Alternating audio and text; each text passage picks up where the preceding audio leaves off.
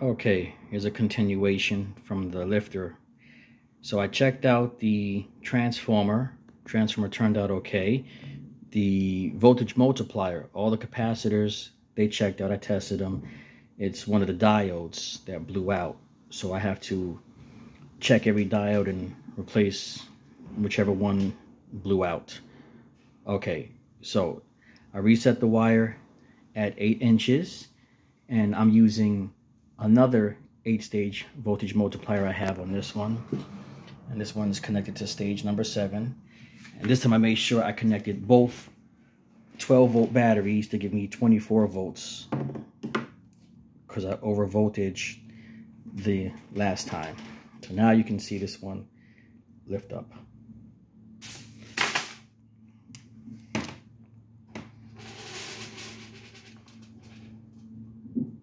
This one has more thrust. This one's set, like I said, 8 inches. So that's 200,000 volts. It's not tethered.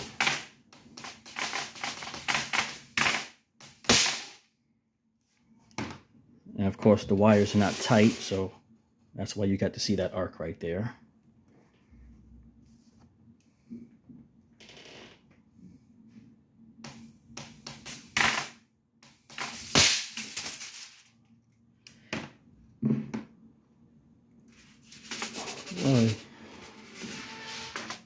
That's a lot of power right there. And this one also can support weight. It's kind of hard to, because I don't have my tripod, so I'm actually holding the camera. And what I notice is the higher the voltage, I can't just connect the wire because I'll actually get shocked. So I'm actually holding them with a pair of pliers with rubber grips so I don't get shocked.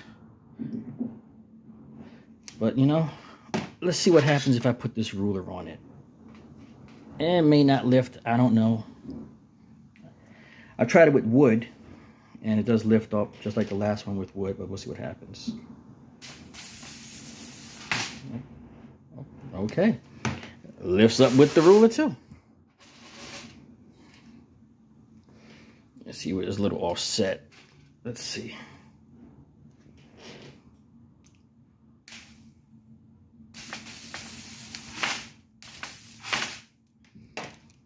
Off balance.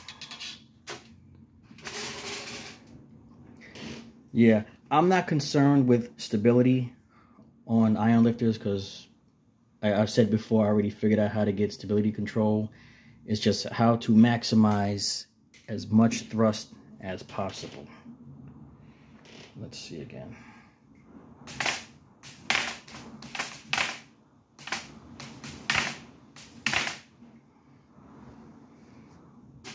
All right, I'm just gonna turn it on see it shoot up.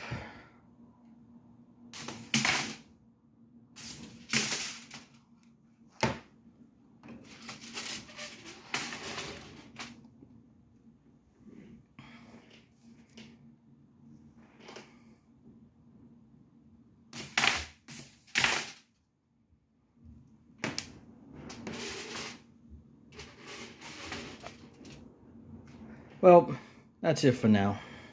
Okay, later.